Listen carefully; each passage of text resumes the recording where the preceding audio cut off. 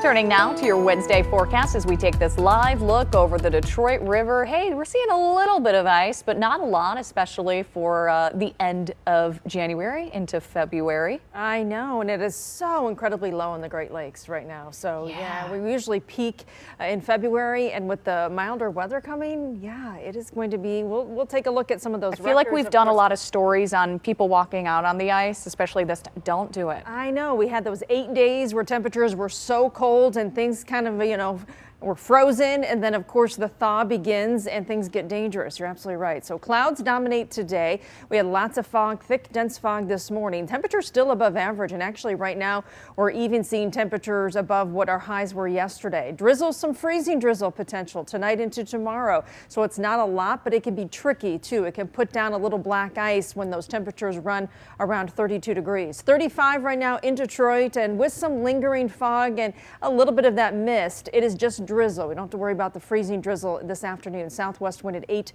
miles per hour. You can see here we have a good deal of cloud cover and that's where those clouds will certainly dominate as we go through the day today. So we're not looking at much sunshine. It does look brighter though as we head into the weekend. Looking forward to that. 10 mile visibility in Ann Arbor, Ann Arbor looks fantastic. 5 mile visibility in Howell. It is 8 right now in Pontiac. Certainly better than what we had this morning. Now with the winds up a little bit overnight about 10 to 15 miles per hour. I think that will help the fog situation overall. Now we look at the bigger number, the temperature, the smaller is the wind chill. 35 in Ann Arbor feels like 27, 29 is the current wind chill, 35 in Pontiac. The same goes for Detroit. Now temperatures in the upper 30s, some areas closing in on 40 for a high with a lot of cloud cover. May see a few of those clouds part a little as we head into tonight and then come back into the picture tomorrow. Hard to pick up those little blips of drizzle or freezing drizzle at times tomorrow, but overall the pattern is very benign and quiet here in the coming days. We really aren't tracking much as well as systems are concerned.